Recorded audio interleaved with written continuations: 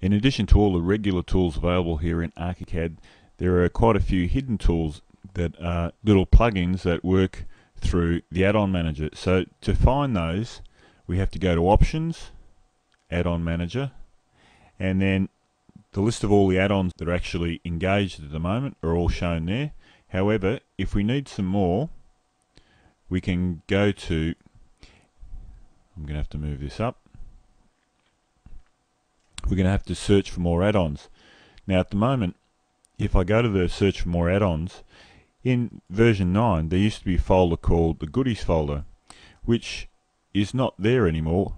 We have to go through a different process to find those goodies, download them, and then once they're downloaded, they're there all the time. So we're just going to do that now. But what I might do here is first create a new folder called goodies. This is the folder that we're going to put all these little extras in. So I'm just going to go OK.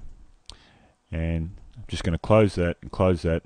To find the goodies, I have to go to the Help menu and it'll be slightly different depending on which version of ArchiCAD you have but here in Australia we go to the ArchiCAD 10 Aussie goodies and I left mouse click on that and that should launch your browser and it will have a list of all the goodies that are available there. We also have different manufacturers that supply their products and we can load them automatically straight into ArchiCAD but this is the one I'm going to concentrate on now. You left mouse click on downloads and we're redirected again.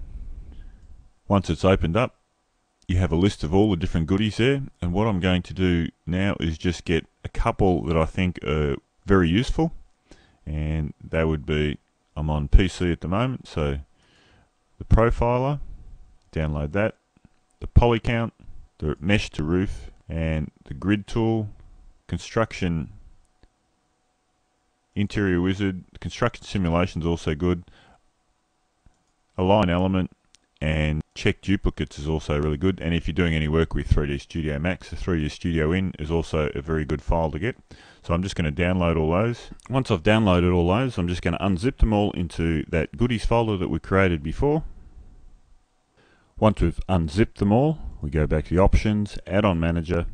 Then when we click for search for more add-ons it automatically opens up to the add-ons folder. We go up one level and to the goodies folder. In the goodies folder we have all those things that we downloaded just before. So I'm just going to load perhaps the align elements. So I drill down until I find the APX file click on that and I might just load the mesh to roof tool also we just press OK and now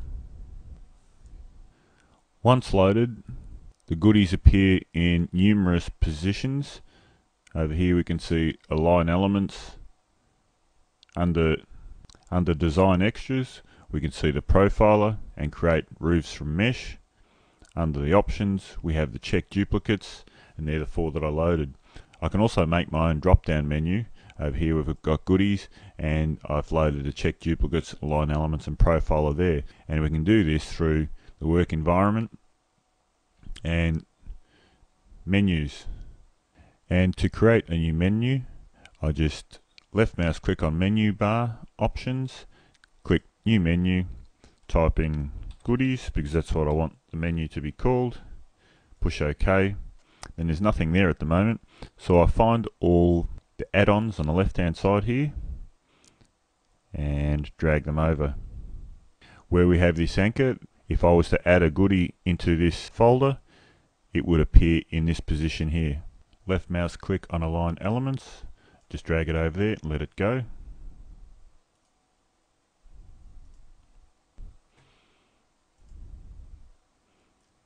Profiler create roofs to mesh check duplicates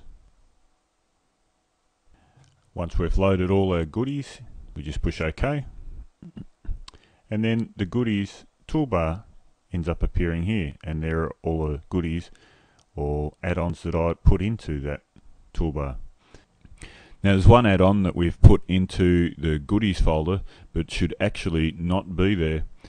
That's the grid tool. So if I left mouse click on that and just move that up to the add-ons folder because it only works properly when it's running from the add-ons folder.